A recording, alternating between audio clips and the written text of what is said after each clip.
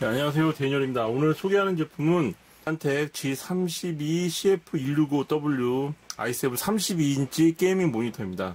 3000대 1의 고정 명암비를 가지고 있고요. 메뉴 설정을 보시면 네, 입력 소스 뭐 기본적으로 일반 모니터들 갖고 있는 OSD 메뉴를 가지고 있고요. 네, 한 가지 특징은 게이밍 모니터답게 네, 이렇게 타겟 0점 조준선을 지원한다는 게 그런 점이 특징입니다.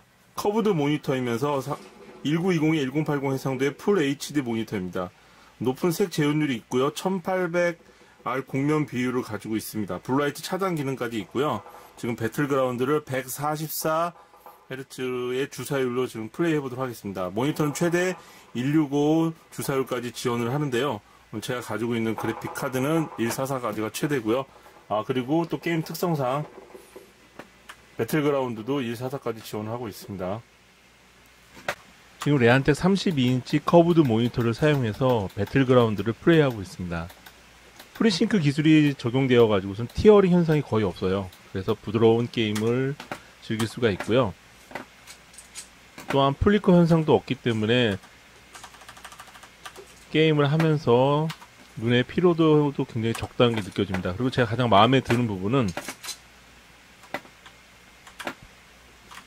blue light 기능이 적용된 모니터들을 보면 좀 노란 그 느낌이 나는데요.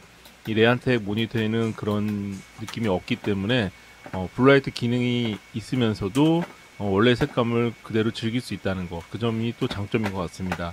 또한 최대 165Hz의 주사율과 어, 1초 이내의 응답 속도 이런 부분들은 그 FPS 게임을 하는 데 있어서 가장 필요한 요소인 것 같아요. 제가 지금 실제로 게임을 하면서 178도 광시야각 해상도도 굉장히 마음에 들고요.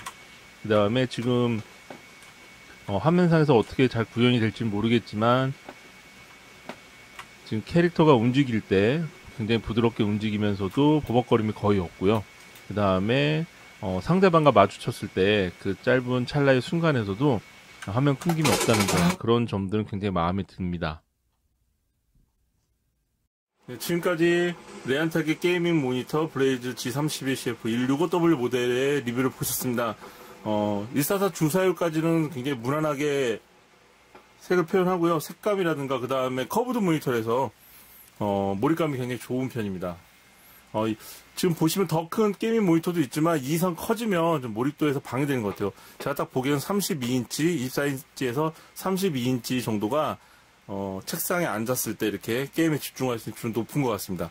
저는 지금까지 대니얼 테크 실험실이었고요. 제 영상이 재미있으셨다면 채널 좋아요, 구독 부탁드리겠습니다. 감사합니다.